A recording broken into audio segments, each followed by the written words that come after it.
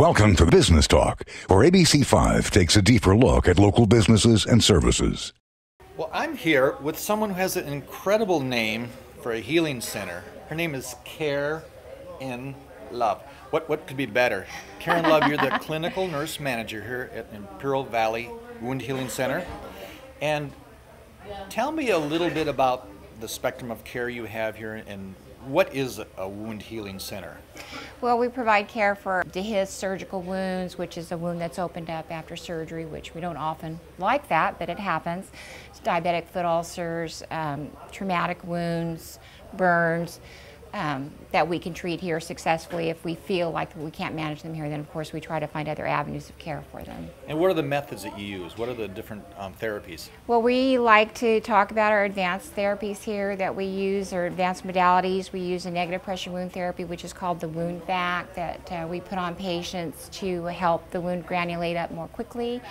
We have used, uh, we do debridements on patients, which where we're cleaning the wound. Debridements? Do, mm, debridements. What is that exactly? A debridement is where we're taking, there's a couple of kinds. We use an enzymatic where we can use a topical um, medication that we put on the wound that will help that wound kind of break itself down.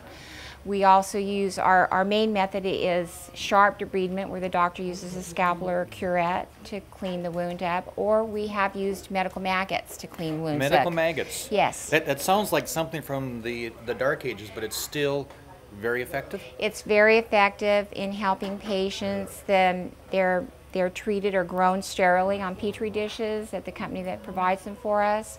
We put them on a wound. They stay in the wound for uh, 48 to 72 hours. We take them out, the maggots out, and we have a beautiful clean wound.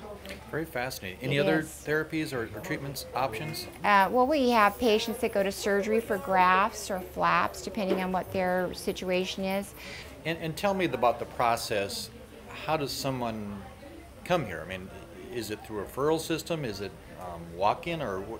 Yeah, we do accept walk-ins here. Um, sometimes they may have to come back on a different day, but a patient can walk in. They do. They can do self-referral.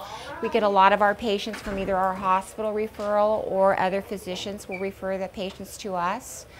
So that's um, that's how they are. They come to us, but they don't require. We don't require referral. We do do a self referral. Well, this is a fascinating place, and I still can't get over. I need to see your driver's license. Make sure Karen Love is your real name. Yeah, that was a great help for my husband, right? Yeah. Thank you so much. Thank you very much. The people is also the excellent, very professional, uh, and I'm very glad to be coming here. That's all for today's edition of Business Talk on ABC5.